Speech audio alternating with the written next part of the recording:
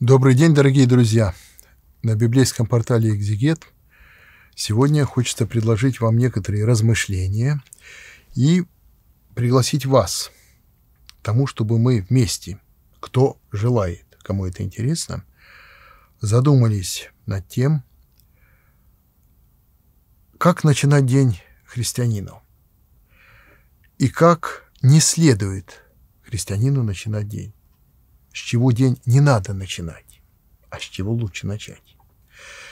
И в первую очередь из Священного Писания мы позаимствуем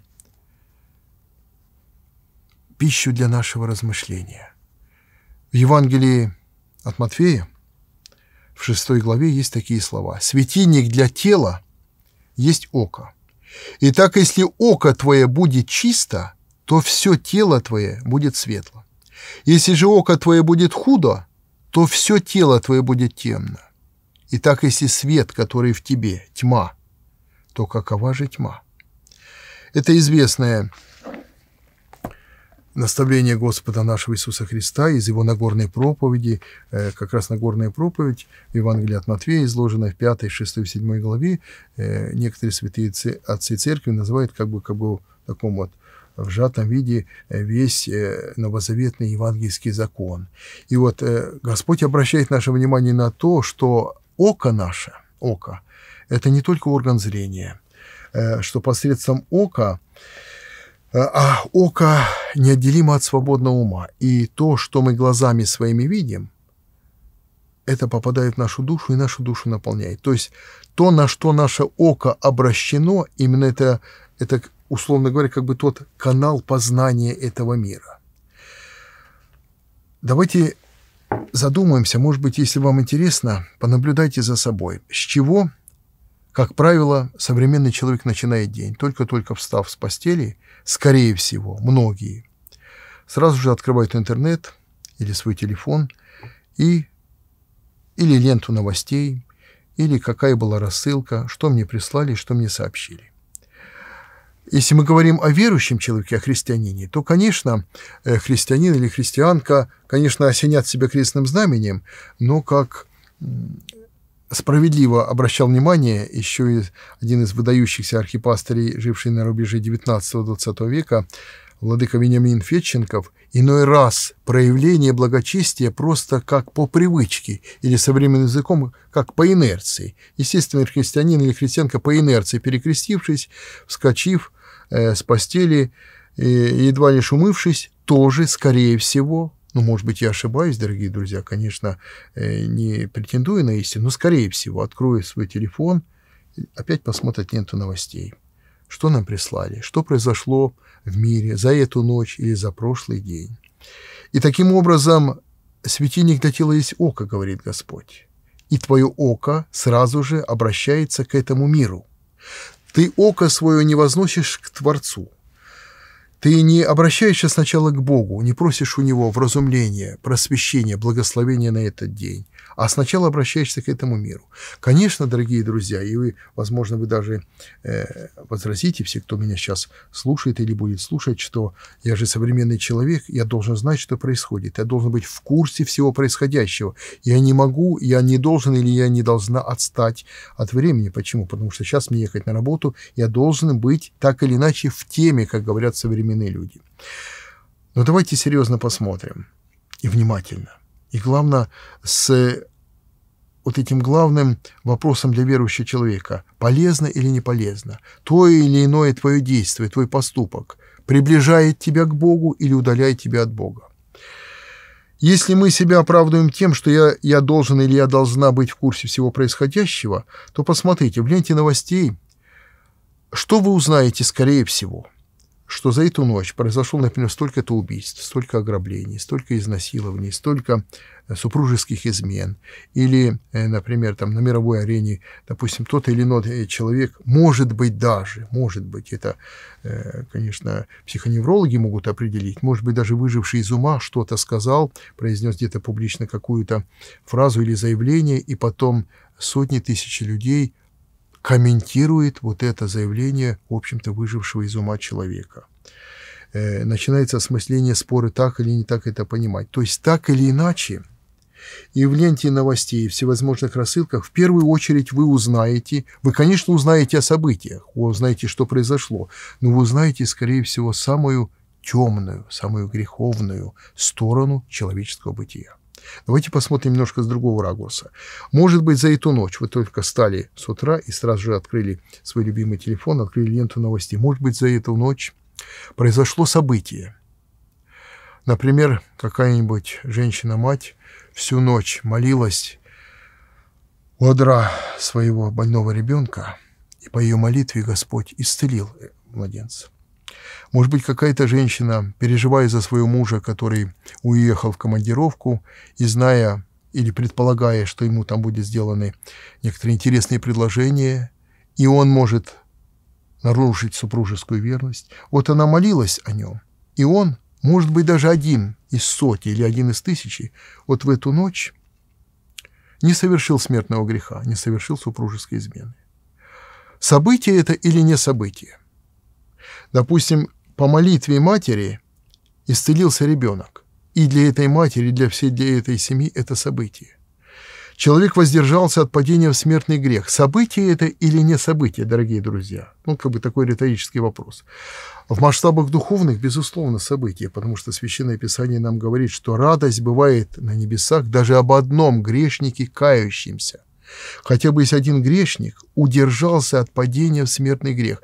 Безусловно, в мире духовном, где все ангелы и святые э, взирают на землю и молятся за всех нас, конечно, это событие. Но в ленте новостей вы об этом не узнаете. Как раз почему? Потому что все вот это информационное поле, оно заточено в первую очередь вы, конечно, можете соглашаться со мной или не соглашаться, но в первую очередь на самую темную, греховную сторону человеческого бытия. Какие-нибудь светлые, позитивные, духовно полезные события, которые действительно происходят. Вот вы утром встали, за эту ночь много произошло и духовно важных событий. Они произошли, но они условно говоря, за кадром, они вне поля зрения. О них мир, который ищет только своего везде, как э, Господь в Евангелии говорит, что мир любит свое. Мир, и заточенный на греховное, э, на все греховное, на все богоборческое, на все то, что, э, как очень мудро, опять-таки говорит э, святой апостол Иоанн Богослов, «Не любите мира, не того, что в мире, ибо все, что в мире, это похоть плоти, похоть очей и гордость житейская». Вот похоть плоти, похоть очей, гордость житейская, именно этим наполнено информационное пространство. Светлые, духовно здравые, укрепляющие веру э, события тоже происходят, но мы о них не узнаем. И вот вопрос риторический. Вы начинаете свой день, открыв свой телефон, и хотите узнать, что произошло. Правильно ли вы начнете свой день? Светильник для тела есть око. Итак, если око твое будет чисто, то все тело твое будет светло. А если око твое будет худо, то все тело твое будет темно. Итак, если свет, который в тебе тьма, то какова же тьма? Итак, если наше око нашей души с самого утра, пусть мы даже машинально себя осенили крестным знаменем, больше по привычке, как бы по инерции, но сразу же око нашего ума обращено на весь этот греховный мир и начинает поглощать оттуда информацию, скорее всего, негативную. Если свет, который в тебе тьма, то какова же тьма? Чем наполнится душа такого человека, христианина или христианки? Потом, садясь за руль автомобиля, отправляясь на работу. Конечно, христианин или христианка опять-таки машинально по привычке осенят себя крестным знаменем. Иной раз даже и на ходу, это этих примеров великое множество, даже продолжая движение на автомобиле, не отрываются от своего любимого источника информации. А информации какой? Еще раз вернемся к словам Евангелия. И так, если свет, который в тебе тьма, то какова же тьма? Все, что там э, вы будете узнавать оттуда, это вас укрепит в вере. Это наполнит ваше сердце любовью к Богу, надеждой на Него, любовью к ближним. Попадающиеся на, на вашем э, пути, скажем так, если едете на, на автомобиле, другие участники движения. Вдруг кто-то вас подрезал. Какая у вас реакция? Ваше сердце чем наполнено? Светом или тьмой? Вы все хорошо знаете ответ на этот вопрос. Давайте посмотрим с другого немножко ракурса. А если христианин или христианка встав, умывшись, приведя себя в порядок, начнут день не с ленты новостей и не с рассылок, а с главы Евангелия. И Священное Писание, пусть вот лежит закладочкой, и день начните с утренних молитв, пусть даже кратких, если вам время не позволит, хоть краткий, но чтобы было какое-то определенное молитвенное правило, из главы Евангелия. Вы начнете день со Слова Божия, оживотворяющего, просвещающего вашу душу. Светильник для тела есть око.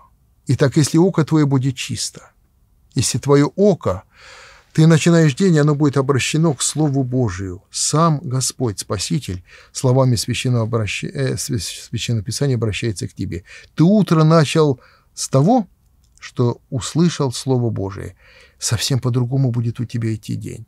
Разумеется, дорогие друзья, предвижу ваш вопрос и совершенно справедливый, даже возражение. Это не значит, что в этот день у вас не будет искушений огорчений, неприятностей и множество других непредвиденных обстоятельств. Мы живем в этом мире, мир полон мир погружен в страсти, в грехи, мы живем среди других людей, у всех свои страсти, у нас страсти, у окружающих нам людей, нам многое с чем придется э, находить компромисс, терпеть, мы не избавлены от скорби, от узкого евангельского пути. Но как важно, чтобы светильник для тела, который есть око, чтобы око твое было чисто, чтобы утро ты начал со слов Священного Писания. Тогда и день твой будет все-таки немножко другой.